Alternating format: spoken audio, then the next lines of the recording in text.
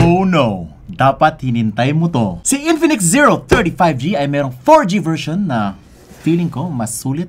This, my friends, is every bit the 035G. 3D curved display din siya. Elegant flagship design. Camera is 108MP. Meron din siyang 5,000 mAh sa battery and 45 watts fast charging. At yung presyo, less than 10,000 pesos. There are only two phones in the world that is less than 10,000 pesos tapos meron siyang 3D curved display. Yung una lumabas na earlier this year. Si Itel S23 Plus po yun. Pero kasi alanganin yung kanyang specs. O flagship yung itsura niya, 3D curved display, kaya lang kasi hindi okay yung performance kulang na kulang pa yung camera niya. Ito na pa yung solution doon. This one is more powerful. Yung display, Corning Gorilla Glass material. Poging-pogi, 3D curved display. And of course, hindi lang siya less than 10k, mas mura pa siya sa live ko sa IKOK. And you know what? Infinix is also dubbing this as a vlogging phone. Ayun no, vlog camera, 50 megapixel front camera. But anyway, without further ado, let us unbox this. But Spins, and you're watching Unbox Diaries. Ooh.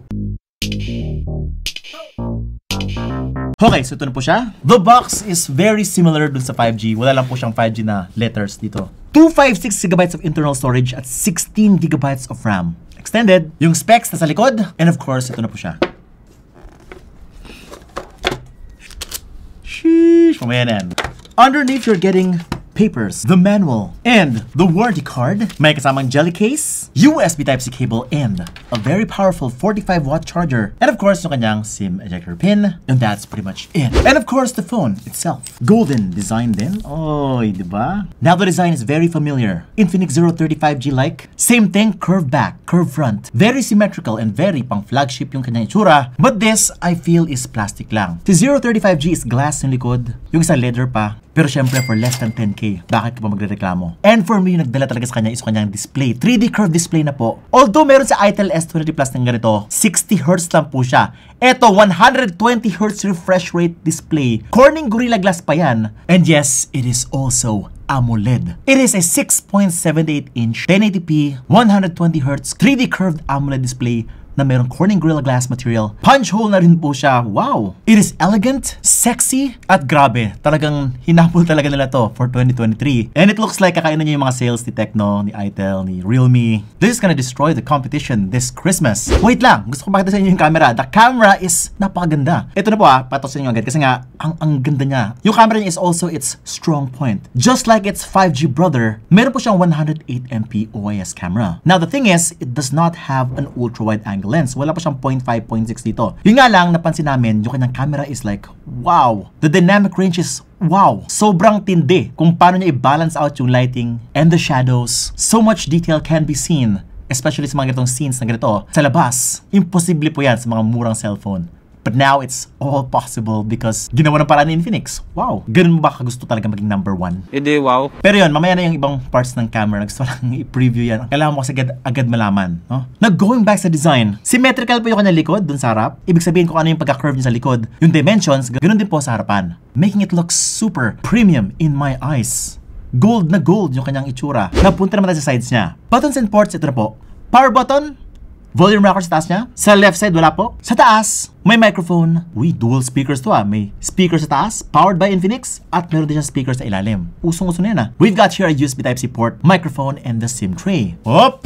Ang malaking tanong. SIM ejector pin, meron ba? Sana meron, sana meron, sana meron. One, two, three. Mm. Ah, hindi. Ah, flagship na daw po kasi siya. Ayan. Si 030 series ay wala pong micro SD card slot. Pero kasi 256GB na po to. So you have plenty of storage. At the 1 SIM card naman po siya. Yun. And now with the display. The display is very bright. Very vibrant.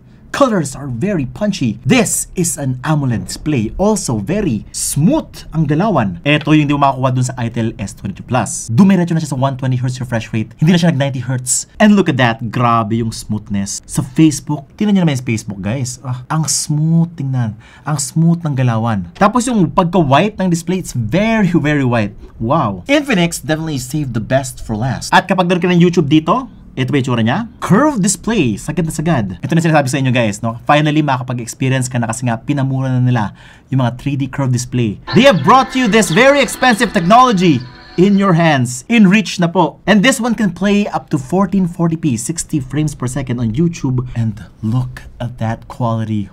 Holy sheesh! My goodness! Yan po yung quality na makukuha nyo. Napakaganda, napakasagad po tingnan. Look at your content overflowing at the sides of the display. Wala na pong sana all ngayon dahil kaya mo na siyang bilhin. 14th month? Sorry na! Sana all! And of course, what is the performance that you're gonna get here? Hindi mo sinabi, Vince. Hinihintay ko yun eh. Andito ako para sa performance eh. Well, ang kailangan mo laman is kanyang processor ay Helio G99. Ito yung pinakamabilis na 4G processor ni MediaTek. The Antutu benchmark is 413,000 points pangmalakasan. That is about 80% of the performance of the 035G. And now for the gaming part.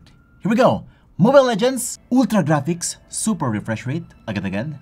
And guys, I was able to play this from start to finish, rank game, with no frame drops, no lag whatsoever. Ang smooth niya po sa Mobile Legends. Sa Call of Duty ito naman siya, high frame rates, medium graphics. Hopefully ma-optimize pa siya in the future to run at very high frame rates. Feeling ko kaya niya. Okay na medium graphics sa akin. And so far, okay naman siya. Very smooth naman, no frame drops, no lag whatsoever. Yun nga lang, needs more optimization for extra frame rates dito sa kanyang settings. I believe it can do more. Make it happen, Infinix, please lang. Or make it happen, Call of Duty. Ayun. Na kay Call of Duty kasi yan. Sa Genshin Impact, yes. For most Helio G99 processors, ito po yung kaya nila. Lowest graphics, 60 frames per second. Very playable. 40 to 50 frames per second. Nakita ko dito. Yan po yung kaya ni 034G for Genshin Impact. Overall, sa gaming, sobrang natuwa ako, especially sa Mobile Legends. Sobrang smooth. Nag-enjoy pa ako playing on this thing. I mean, jumping from my Huawei P60 Pro and iPhone to here, wala pong pinagkaiba yung experience. Nakakatawa po. Ibig sabihin, pang flagship po yung experience when you're playing Mobile Legends on this phone din. Speaking of flagship, pang flagship din ba yung kanyang camera? Now, this thing has three cameras, but wala po siyang ultra-wide angle lens. But then again, 108MP main camera, 2MP depth sensor, and 2MP macro lens. Ayan po. And here are the pictures we've got using the camera. Without a doubt, this one is very similar dun sa camera ni 035G. Quality-wise, napaganda. Dynamic range, very high-end. We were able to get so much detail in the brightest and darkest parts of the image. Napansin ko rin na super confident yung camera in terms of sa mga tao. And when you take a picture right here, you can be sure na okay lagi yung picture na nakuha nyo. Depende na lang po yan sa angulo or sa kung gaano kagaling talaga kumuha ng mga portrait shots. Because most of the time, it's actually the photographer and not the camera. But what you get with a better camera is actually better control of the output. Ito yung less likely na mag-edit ka pa ng extra after you take the picture. And by the way, hindi po siya 4K 60 frames per second. Up to 2K 30 frames per second po yung niya sa video. Ito pa yung video niya, no? Yung video niya, meron siyang stabilization, si ultra steady on, pero gumagana lang siya sa 1080p 30 frames per second. But yes, it does have 1080p 60 frames per second, which is very nice if you want that very cinematic look. And yes, just like the 035G, its bigger brother, fully stock po yung kanyang camera app dito. Meron siyang super night mode for better low light shots. It's got a pro mode, may macro mode, dami-dami. Mer meron pa siyang dual video, katulad nito. Yan, nag-unboxing ako. May uh, face ako dito para may reaction. wow, 035G.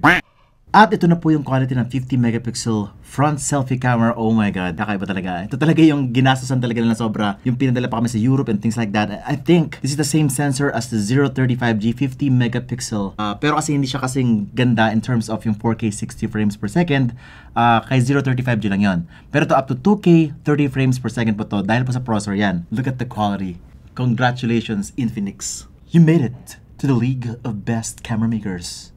The Infinix 034G is only less than 10k, 9,999 pesos, 16 gigs of RAM, 256 gigs of internal storage. OMG,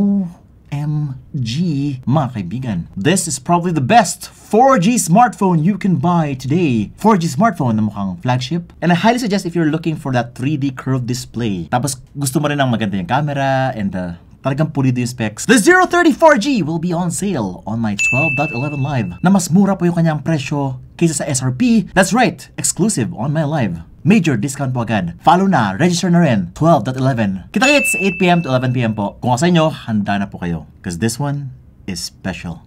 Again, if you want to see more videos, mga ganito kasulit na phones on my channel, mag-subscribe ka lang, hit the bell icon so that you don't miss any of my great content. But sabihin, and you're watching Unbox 90s.